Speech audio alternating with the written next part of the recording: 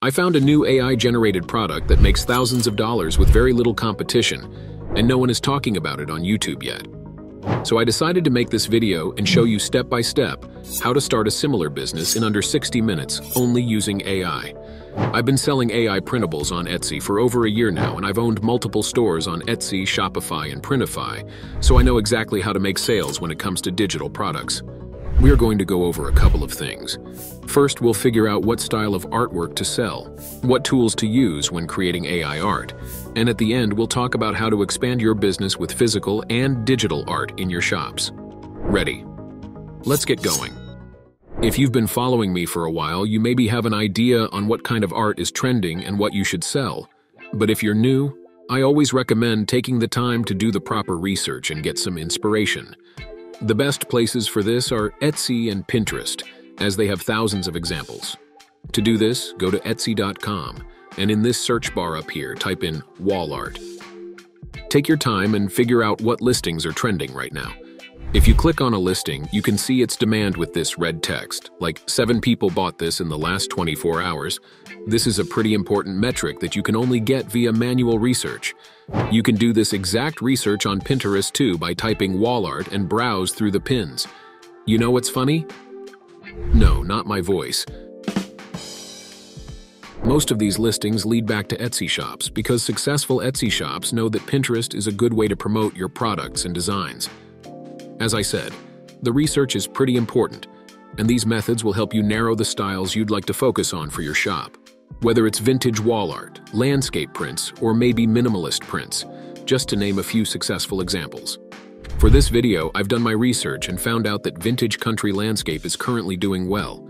You can see that this shop, Landscape Prints Italy, has made 700 sales last month with over $8,000 in revenue. If we take a closer look at their shop, we can see that they are only selling vintage and antique-style digital prints in their shop. This means that they're not making as much money as they can, because you can't charge too much for printables. Take a look at their prices, $16 for bundle of 30 images. Again here we have $16, $9 and so on. Since we'll be offering both physical and digital version of the product, our revenue potential will be much higher. To get all this information, I'm using a tool called Alura, and you can try it for free via the link below. Just sign in. Go to Research on the left and select Shop Analyzer, and in this box type in the shop name to get information like total revenue, monthly revenue, best-selling items, and so on. Here's another shop selling similar printables. They have over 38,000 sales, and based on Alura, they've generated more than $150,000 in two years, which is more than $6,000 per month on average. Not bad for a shop like this. Based on these two shops, this is enough for me to confirm that this can be a very profitable niche. Oh, and check this out. When you type in vintage printables on Etsy, you get 14,000 results. This means that the niche is not saturated at all. In order to create your AI-generated vintage printables, we need to use tool like Midjourney to generate high-quality wall art. Keep in mind that resolution of Midjourney's images is pretty low, and sometimes it produces pixelated finished products, so we'll need to improve the quality. I'll show you how to do it for free later. All of the art that you generate with Midjourney is completely yours to sell, so you don't have to worry about commercial rights. So once you sign up for Midjourney, go to their Discord server, and this is what Midjourney looks like on the inside. You can see what other people are generating, and to be honest, Midjourney has improved quite a lot in the last year. We basically went from unrealistic blobs of color and lines to hyper-realistic portraits. So, to use Midjourney, go to this channel and type in forward slash imagine. Since we are doing vintage style, I'll type in this prompt, imagine countryside field with white wildflowers and a house, acrylic style, landscape, artistic, realistic vintage. You definitely need to work on your prompt writing skills, but once you master it, you can generate wild images like I just did. I simply love Midjourney and it made me thousands of dollars so far, so that's why I recommend it everywhere I go. If you want to learn more about prompts and how to write the perfect prompt, check out my other videos where I go into greater detail with this. And if you want to get inspiration for your prompts, here's how to do it. First click on the Upscale button under the image you generated. Once it finishes upscaling, you can see more options under that particular photo. Click on the Web button next to Heart icon. You can see that it opened a new tab with your photo, and if you scroll down, you can find similar images that other people generated.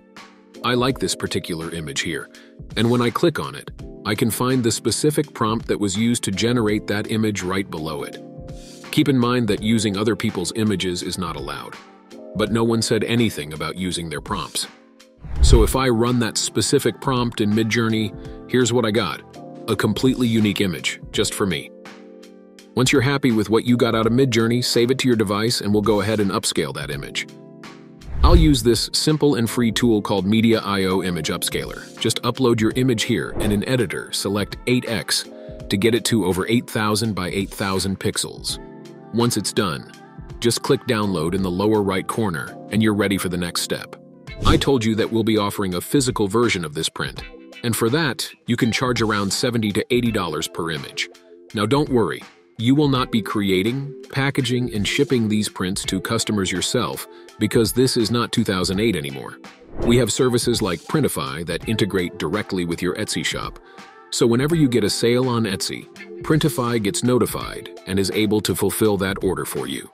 All you need to do is upload the design on any of the products within Printify's catalog, and they take care of the rest. What's even better is that Printify is completely free to use, and they only charge a production fee after the sale is finalized. Once you downloaded your upscaled image from Upscaling Tool, you just have to upload it to one of Printify's posters or canvases under the Home and Living category. I'll select posters for this demonstration. You can see that some come with frames and some without. Since this is like a painting, I'll select the framed horizontal poster.